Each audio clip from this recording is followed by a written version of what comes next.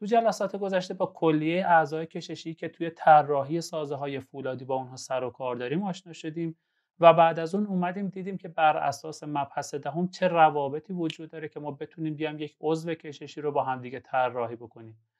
تو جلسه گذشته دیدیم که یکی از پدیده هایی که ممکن هست در محاسبه ظرفیت کششی اعضا تاثیر گذار باشه پارامتری هست به اسم ضریب تأخیر برشی که تاثیر بسیار مهمی توی طراحی این اعضا داشت. و به طور کامل اومدیم در موردش صحبت کردیم. یکی دیگه از پدیده هایی که ممکن هست توی طراحی اعضای کششی تأثیر گذار باشه و توی ظرفیت کششی اونها اثرگذار باشه پدیده ای هست به اسم برش قالبی که توی این جلسه می‌خوایم در موردش صحبت بکنیم. قبل از اینکه بپردازیم به مطالبی که توی این جلسه براتون آماده کردم می‌خواستم که یک نظرسنجی رو از شما انجام بدم که توی روند که برای طراحی سازه های فولادی داریم توی تهیه جلسات مد نظر خودم قرار بدم. توی فصل گذشته همطور که به خاطر داریم ما اومدیم و تئوری های کمانش موضعی رو با هم دیگه تموم کردیم و بعد از اون رفتیم سراغ حل تست های مربوط به اون.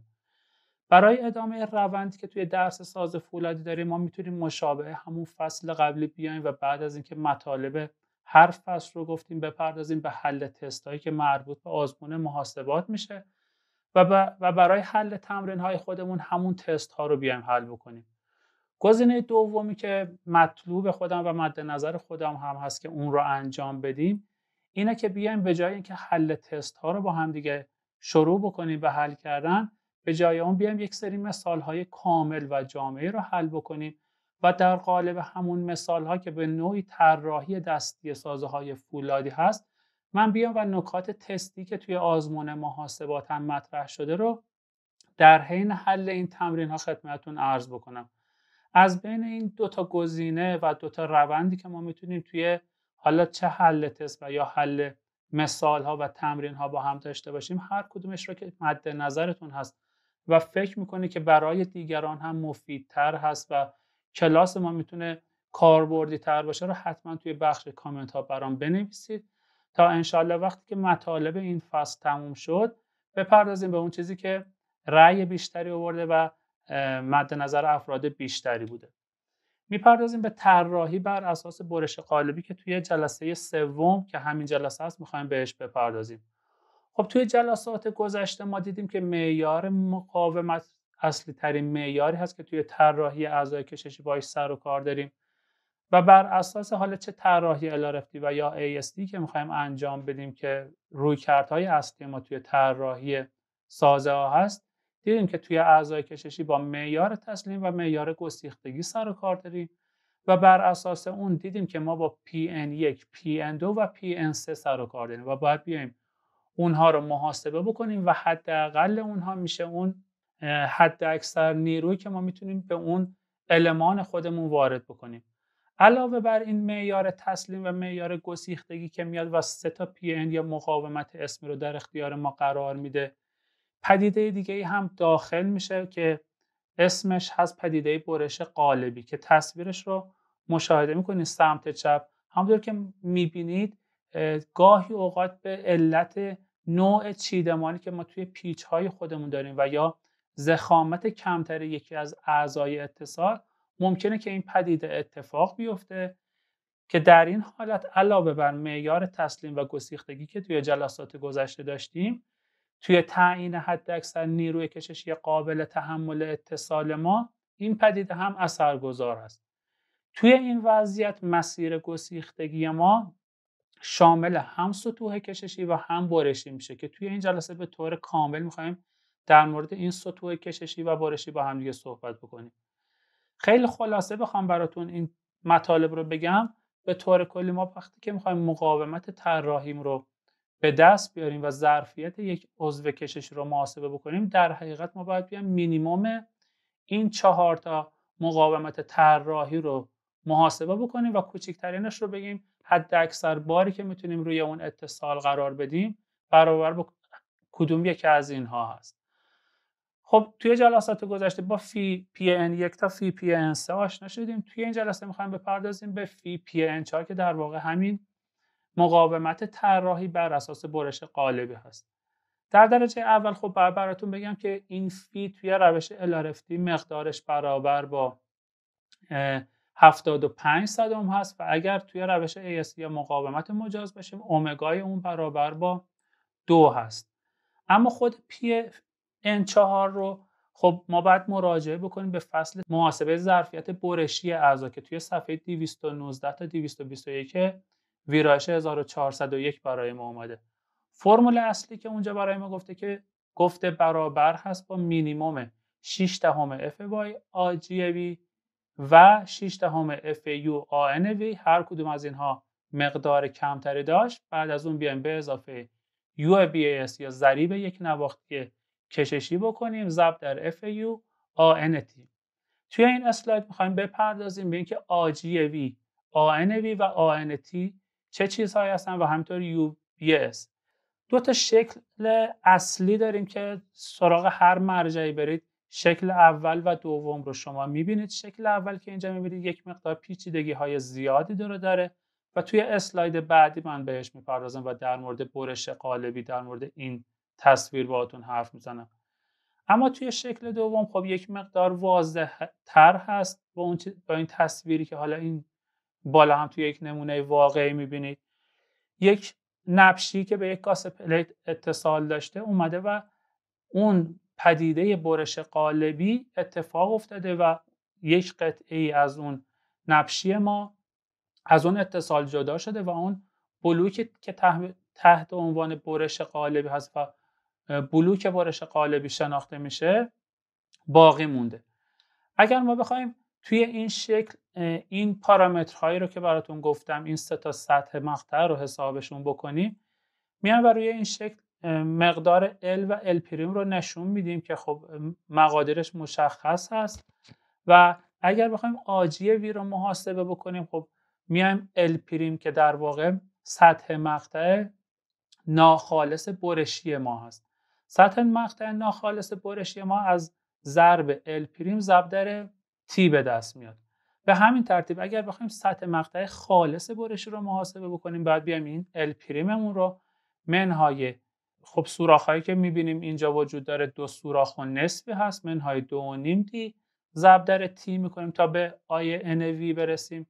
و همینطور برای سطح مقطع خالص کششی باید بیایم اون الی که توی تصویر می‌بینیم رو منهای نیم دی بکنیم و ضرب در تی بکنیم تا در نهایت این مقادیر برای ما محاسبه بشه.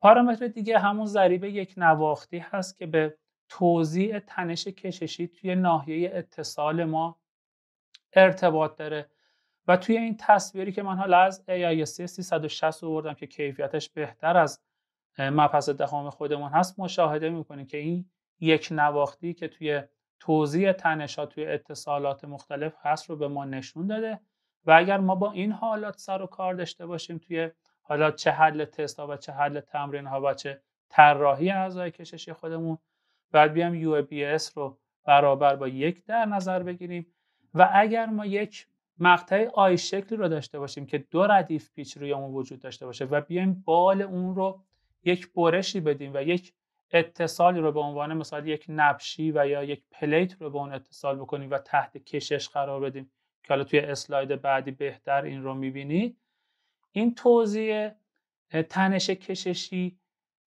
به صورت غیر یک نواخت در میاد و مشابه همون ضریب تاخیر برشی که داشتیم قبلا. میایم و این Ubs رو برابر با نیم در نظر می‌گیریم. اما باید بریم و با این سطوح گسیختگی آشنا بشیم. توی حالات مختلف و نکته اصلی توی محاسبه برش قالبی تعیین این سطوح گسیختگی هست. توی صفحه 220 مبحث دهم خب شکلی که برای ما آورده همون شکل هایی هست که توی AISC هم به وضوح بیشتری اومده اون دو شکل بالا. نکته مهمی که وجود داره اگر ما حالا یک مقطع آی شکلی داشته باشیم و بالهای اون رو بریده باشیم و یک اتصالی رو اینجا ایجاد کرده باشیم حالا توسط یک پلت یا نبشی وقتی که این عضو تحت کشش قرار می‌گیره یعنی جان مقطع ما به سمت بالا داره کشیده میشه خب که توی یک سری حالات خاصی است به عنوان مثال اگر ما یک سری دستک هایی رو از بالا گرفته باشیم و حالا یک عرشه ای رو به اون اتصال داده باشیم خب طبیعتا این قسمت جان مقطع آی شکل ما تحت کشش قرار می‌گیره و توی این پیچ ها می‌بینیم که اون ناحیه هست که تحت برش قرار گرفته و این ناحیه ای که اینجا دارم نشون میدم براتون اون ناحیه کششی عضو ما میشه. که در واقع حالا اگر بخوایم توی این شکل بگیم که یک قانون کلی هست و می‌تونیم به طور کلی در نظر بگیریم اون سطوحی که موازی هستن با اون نیرویی که ما داریم اعمال می‌کنیم به اون اتصال خودمون اگر موازی باشن تحت برش قرار دارن و اگر عمود به اون نیرو باشن سطوح کششی ما هستن که توی اینجا هم دو مرتبه مشاهده می‌کنیم. توی قسمت پایین تصویر صفحه 220 یک سری حالات گسیختگی دیگه رو برای ما آورده که من شکلی که مشابه این چیزی باشه که توی مبحث دهم خودمون باشه رو توی حتی مراجع انگلیسی و AISC هم ندیدم. و خب یک مقدار هم هم کیفیتشون پایین هست و هم مفهومشون کاملا شفاف نیست. من سعی کردم اونها رو برای خودم بیام مدل سازی بکنم حالا با این کاغذهایی که اینجا بهتون نشون میدم در ادامه. به طور کلی من یک نکته ای رو که توی اسلاید قبلی هم بهش اشاره کردم این بود که برش قالبی گاهی اوقات توی اون عضوی که زخامت کمتری داره ایجاد میشه. اگر شکل سمت راست رو در نظر بگیریم من اومدم و این اون رو براتون اینجا نشون دادم. اگر ما این عضو ما باشه و این گاست پلیتی که حالا اون اتصال بادبند یا مهاربندی ما درش ایجاد شده اگر ما بیایم این عضو خودمون رو تحت کشش قرار بدیم و در نظر بگیریم یا فرض بکنیم توی gusset plate ما ضخامت کمتری نسبت به اون عضو خودمون داریم خب احتمال اینکه کنده شدن و برش قالبی توی gusset plate ما اتفاق بیفته به همراه این عضو ما خب احتمالش بیشتر میشه.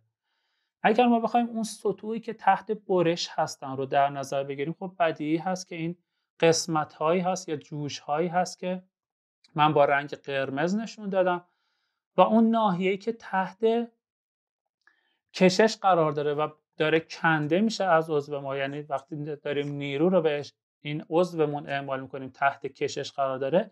این قسمت هایی هست که با رنگ سبز بهتون نشون دادم.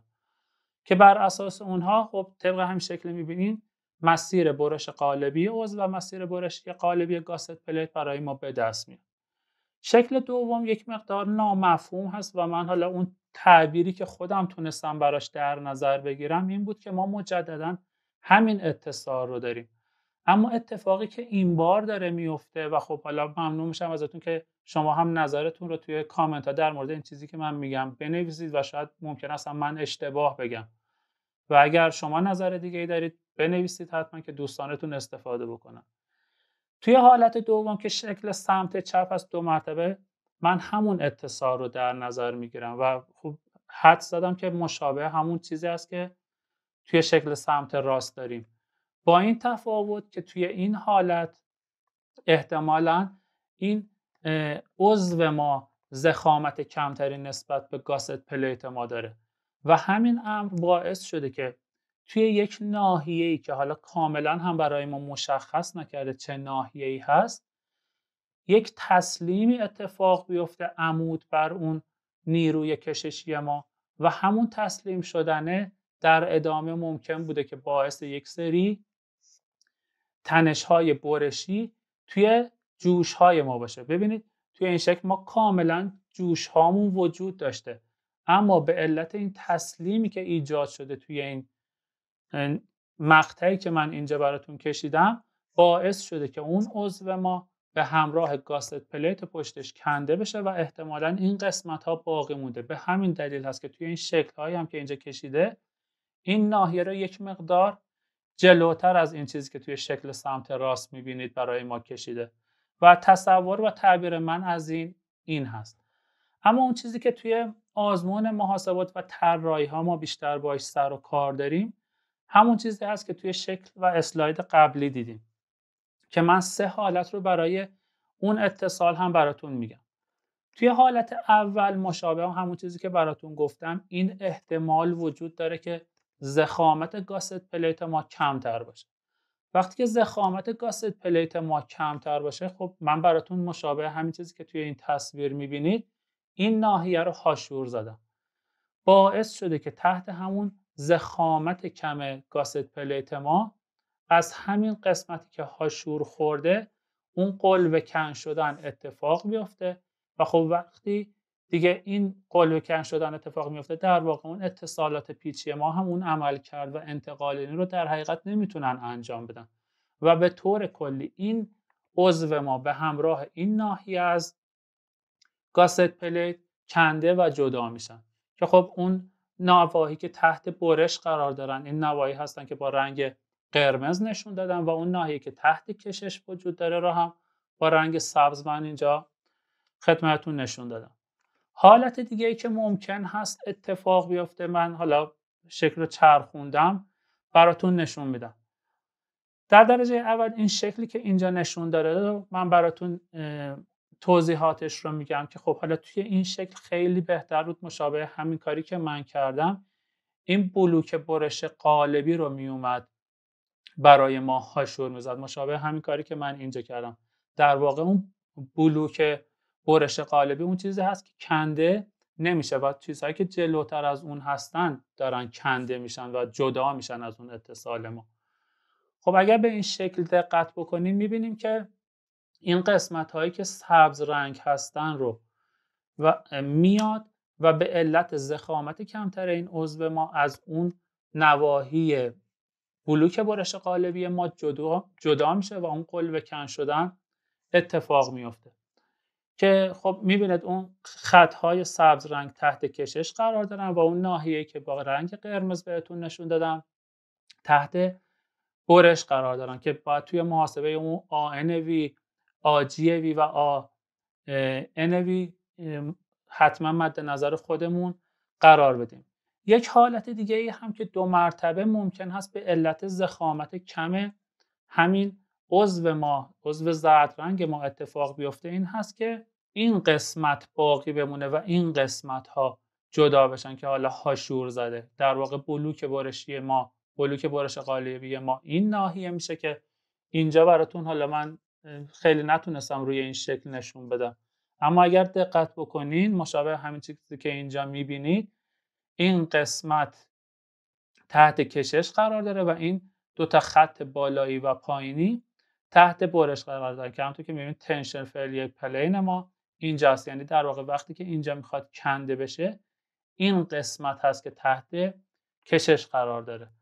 من سعی کردم کلیه حالاتی رو که توی حالا مراجع و حالا اینترنت وجود داشت و کتاب های مختلف براتون یک جا جمع آوری بکنم و اهمیت این موضوع و تعیین سطوح گسیختگی رو براتون بگم.